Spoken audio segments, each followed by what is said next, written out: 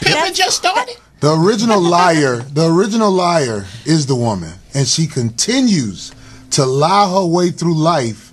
And now, Look at that. I'm just saying, and now, uh, the offspring of wretched club bitches um, Oh, rule the street. the offspring of wretched club. the offspring of wretched club bitches are out there in large numbers. Brothers used to have to worry about the police and stuff like that. Now you have to worry about these misguided children that was raised by a woman Only. who her backup comes from the court system and the children are trained Wait a minute. against the man. Are you Yeah. saying? Are you saying Yes. that? Wait, hold on.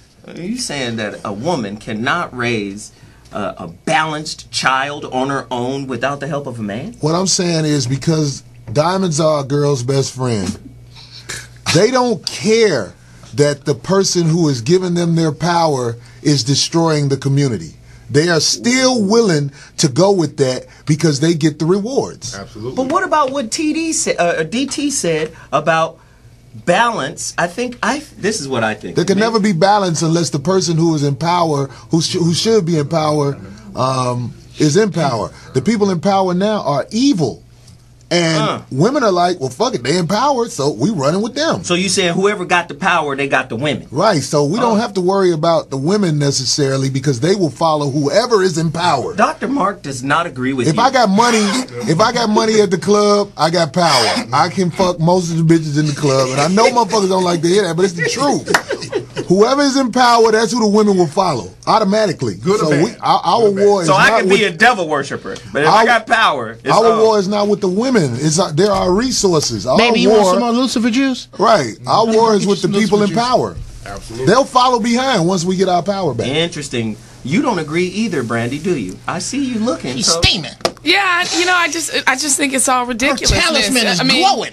You're upset that a woman can't raise a, a a child properly by herself. Well, why don't you take yourself home and raise your child too? Mm. Okay, here- here's the reason. There's a reason a lot of black men aren't in the I'm home. sure but there we is. Is that- did you want that answer? I'm sure there are. I'm you sure like you're that answer? give me saying an in answer. general, men should never get mad at women because I guarantee you, no matter how much they yap, if you have the money and power, them bitches will be right up under you.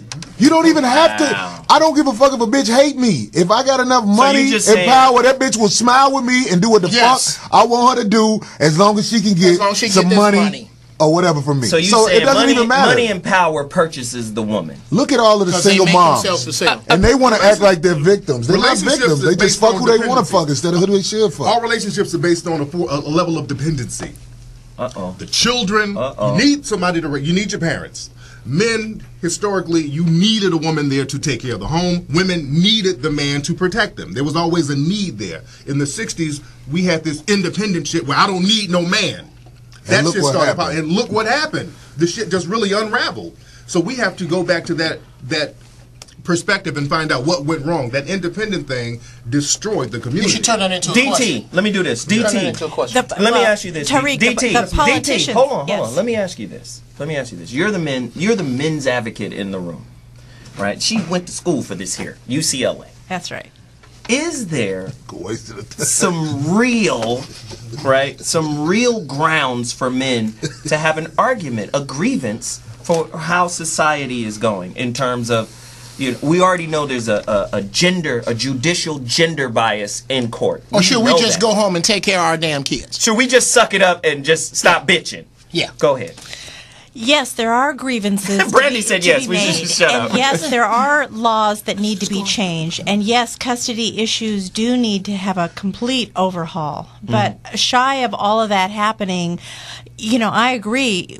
Prior to 1964's 64, black men were very relevant. They were very important in the household. Go ask your grandpas and your uncles and Come what on have now. you. They were very relevant, and the politicians bought your vote. Lyndon Johnson said, We're going to create this social program, so if you pop out more kids and there's no husband around, you're going to get more money. That's where it started. Let's so go, the let's go. politicians bought you out. Mm-hmm. But prior to then, I didn't say that. black men and black head of household households were very relevant and very. There was no broken families back then. So here's my point. You know, so we have to in, figure. And I, in a and I- position where he couldn't protect you, you can get raped, and he has to stand there and watch that. On a subconscious level, there's a certain level of disrespect there because he can't protect you. But sisters still wrote it out in the 1960s when they gave sisters the option of, hey, we'll take care of you. You don't need him no more. A lot of sisters was like, cool. So we got to be real about that. We keep getting blamed for abandoning the family, but a lot of women go into relationships saying, well, I'm going to have a baby and I don't need no man. So they're making a point and a decision to have kids by themselves even before a man gets to abandon them. So we got to be very realistic But about Tariq, that. that's an interesting point you make because radical feminism has a concept called the disposable man. Hmm. But can we really get mad when pimps and Macs have a concept called pimps up, hoes down? Isn't that not the same thing? Okay, We that- can't have double standards, right? All right. Here, uh, let's let's. Uh, uh, I'm talking to Tariq. Okay. Just gonna ignore. You just ignore that. Okay. Just listen by Dr. Mark Goulston. All right. Here you go. Let me open this up. Get a couple. Let me open this son of a Get a couple of bars. Look at that. Tariq, please. But yeah, but, but the concept of pimps, pimps up, hoes down, that goes back to what Corey was saying. It goes back to power. There's always been men in power who had a whole bunch of women and the option to have a whole bunch of women and to do whatever you wanted to do with them women. That goes back to the ancient pharaohs of Egypt and the mm. kings of, of, of Europe. They would have a wife and eight or nine mistresses. So w- the word Mac and pimp, that's relative to the situation because there's always been relationships like that. And that's just a power based relationship. Okay. Now you. Okay. Wow. And in the Tariq, Push back, push back if that's all right. Let, us go back to the 60s. Right in the middle of the 1960s, that's when the black community gave up its economic base. And we mm. integrated Wow. money. And once we did that, you Done. notice the independent thing popped right on up. Because the thing is, we as black men, we became dependent on the system for employment, work, jobs, homes. So black women were like, if I got to depend on, if you're dependent on him and I got to depend on him, fuck you. I just go directly to him now. Mm. Whereas other groups and immigrant groups, when they come over, they don't try to get jobs. They come over and they build their communities. They get their businesses. Tariq, can it be said that the system has allows them. marginalized black men Absolutely. and not black women? Absolutely, absolutely, because they the the system number one weapon against economically deprived the black community on purpose. Hmm. I mean, you, when you look at Jim Crow, that was d- purposeful economic deprivation. No blacks here. You can't work here. These all white unions, they went out of their way to economically deprive us. And then they came in as the rescuer saying, okay, black woman, since you don't have no money, we got you, but he can't come in the home. And if you remember in the 1960s, when they would put black women in these housing projects, they would literally go in those projects looking under Checking. beds, looking in closets, looking for male shaving, shoes, all that stuff. Literally making sure there was no man nowhere around. And before that, black women would be very selective about the men they procreated with. There have always been dusty ass dudes in the black community. Mm. Women just wouldn't fuck them. After the 1960s, Yeah. you didn't have to worry about the dude being dusty. If he had cute eyes and swag, you fuck him and have a baby with him and you'd still be great. You look like Elder Brown. And that's when everything went downhill. Leadership in this country has made women who have a history of five or more uncommitted dicks in their body think that they are respectable people. They don't even think they hoes. They think that they just good people walking around, but they spend their whole life until they get too old and don't nobody want them no more, chasing imaginary shit because the leadership in this country told them that you are still a, a, a, a, what is it? A woman. You're not a whore. You're not a whore, but in fact, you are a whore when you go around sleeping with uh, everybody that you are. Uh, you know, like especially the cute girls. They are the real whore. oh, they got options up the ass, so they think that they, you know, I, it didn't work out with See, him. The- Kardashians are not women who are standout fucked up people. They just like almost all of the women I meet. I'm just saying, they're not, they- it's just they got money. Is that why they're famous? Because they're. they, they got money and they got fame, but most of the girls who I know, They are especially the famous ones, I, because these broads identify with them. the ones I met in Hollywood, That's- that's, they how they get down. It's like- but did they act like angels when they think you don't know their story, but everybody tell your story. That's another thing these women got to understand. These dudes are not loyal to you. They put you out there, everything you did, and you know you can't believe everything people say, but When enough people say, "Oh, that bitch whoop de whoop de whoop," but we know you, bitch. You can't act like you not know motherfucking jump around, bitch. Everybody know you. Dr. Goulston, I need you. Uh, how many? Uh, That's what I'm talking about. But see, those are the ones you see automatically.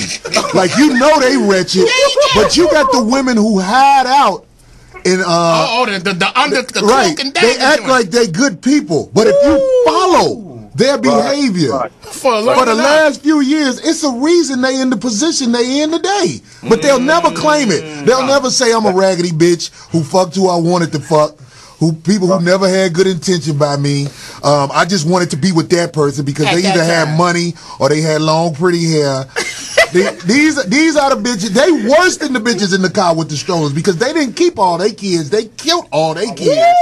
They call it abortion, but they did. They had them Yeah. kids yanked. Sucked out of the sink. Them, bi- them bitches need to wear Yankee caps. I'm just letting you know. I'm just saying. And Corey Holcomb walks the bases. They won't show themselves. They're co- hi. I'm so and so. I'm dignant. I'm good. Yeah. Okay. Lousy And bitch. Just lousy. lousy bitch. Lousy. Raised by lousy. I know they lousy bitches. That's why I offer them money for pussy immediately. How much for your pussy? Yeah. And most of them be like, oh. And then later on, they be like, "I- okay. That's how it goes. this is a world of wretched bitches. And I'm not even blaming them. It's, it's, it's the power structure that has built them into being That that put them way. in that of course, yeah. there's men who ain't shit. But trust me, these women are in control because they have the backing of the people in power. That's why you go to jail and they don't. Wow. There is that. Hey, Let me, let me. I'm not married and I don't have any children. No, no children. No All right. children, You not didn't keep any children or you don't have any children? None of your business. That means oh, Corey. Shit. That means she didn't keep them. That means she didn't Okay. keep them. All right. I, I'm, I'm going in this direction.